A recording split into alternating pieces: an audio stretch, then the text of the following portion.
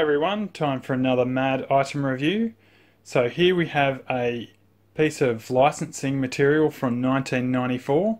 So this was used to advertise to potential licensees of the MAD brand. Uh, and if people wanted to make, for example, MAD memorabilia or collectibles, uh, they could use this as a guide for what they'd be in for if they tried to do a licensing deal with MAD. Uh, so we have some really nice metallic and raised um, type here. Uh, on the inside we have here's a chance to get your hands on some mad money of course in reference to the money that they'd make from selling memorabilia. Uh, we have sell truckloads of moronic stuff to make a ton of cash. Smart retailers go completely mad for mad. Uh, we have a teenager's car as seen by his friends being a taxi, and a Dodgem car as an insurance company. Uh, we have what are you looking at? Of course, instead of what me worry. Uh, and then you have a little piece of art there, which I've got a bit of a story about. So, the basic underlying premise of Mad Magazine that the shrinking number of Americans who are literate will waste their precious time on material that's not worth reading anyway. So if you have a look at that piece of art there, I'll just stop this item here and I'll actually show you something. After I'd bought this item, I actually worked out that I owned the piece of original art that it went with. Uh, so here we have a piece by John Caldwell. Uh, this was one of the very first pieces of art that I actually bought, and I bought it because it had a picture of Alfred and the word mad on it. There's actually not that many pieces of original art that are inside the magazine that actually had mad referenced on it. So obviously you could get something by a particular artist, but saying the word mad on a piece of art was actually quite rare. Um, I can't remember what this was in reference to, but it was something like, um, you know, you're an idiot if you read mad or something. It was a piece that John Caldwell did that had a lot of different examples in it. So, as you'll find with a lot of mad use, particularly in advertising, they'll reuse a piece of art done for one purpose into a completely different purpose. So, I was really kind of delighted to find that I actually owned the original art that went with it. So, let's go back to the piece. Uh, so, then we have the mad stages of being lost denial, anger, depression, and acceptance. Uh, it looks like a piece of art by Tulka. Uh, we have another one, I would say by Caldwell, but I could be corrected, uh, which has the basic underlying premise of gourmet cat food. Uh, that cats developed an appre- oh, sorry about that. She might just take this out. We'll go through that in a minute. The cats have developed an appreciation and craving for fine cuisine through Ian's wolfing down insects, birds, and rodents. See clever cutout insert for all the exciting details and remember we spend lots of money on printing this brochure so that you can make lots of money selling this genuine high quality stuff. And high quality has uh, our boss made us put exciting, high quality, and valuable parts. We wanted to say, oh, never mind. So think of that before you throw out this valuable advertising material. So we have some other artwork there, the three T's of beach bums, toning, tanning, and treatment. Uh, it's got just licensed mad. A uh, couple of spies there, and let's have a look at the other piece that was with it. Uh, so this is free, cheap, free, what me worry, $3 bills. So it's mad money, and it's uh, another fold out that goes through the different types of things that you can actually do. Uh, so it's talking about the founding of MAD in 1952 uh, through desperation, obviously, to keep EC publications as popular as they were. I'll let you have a bit of a read of that.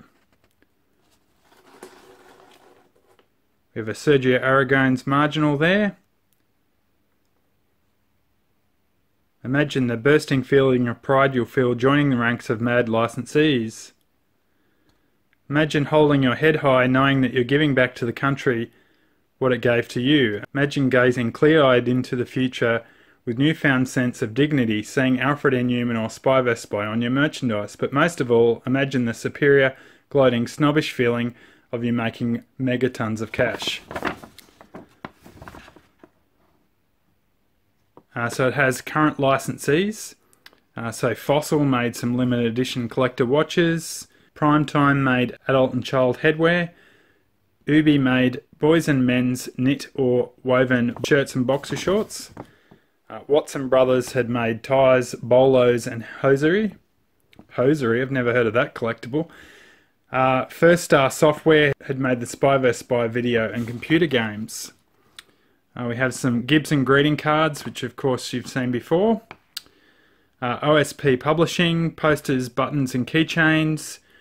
Toys and Games, Lime Rock International, trading cards, hologram cards, and trading card stickers. Uh, branded Foods, Kraft Food Ingredients Corp, Berserk Candy Works. Uh, so candy gum and mints.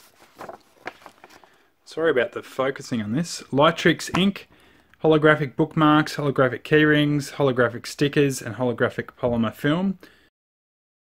Uh, kitchen Sink Press, uh, Hoo Ha the Mad and EC Collectibles Guide. Little Brown and Company, uh, Completely Mad Coffee Table Book in hardcover and softcover editions. And practically the whole world is mad. Mad is published in over 10 countries worldwide, including the Bronx. Uh,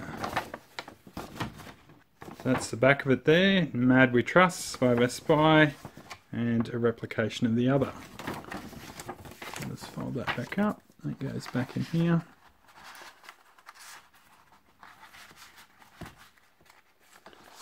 And then on the back, uh, we have open here. To open head, peel sticker off. Hey, remove the sticker and find out about how to cash in on this once in a lifetime deal.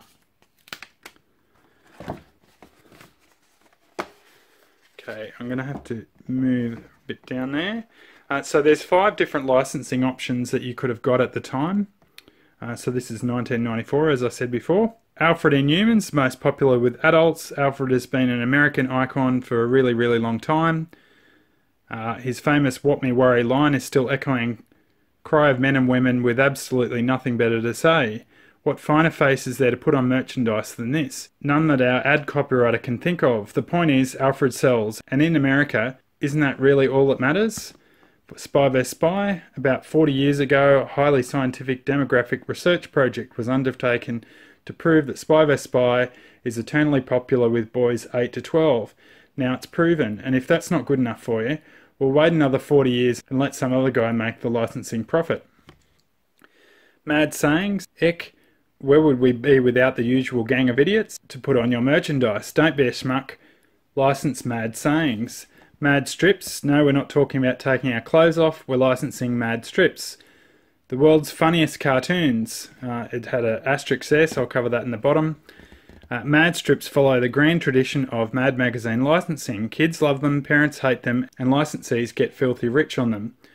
Uh, sorry, Mad magazine. And its affiliates provide no guarantee of laughter and cannot be held responsible for making you laugh. No license at all. So, this is the fifth option in licensing.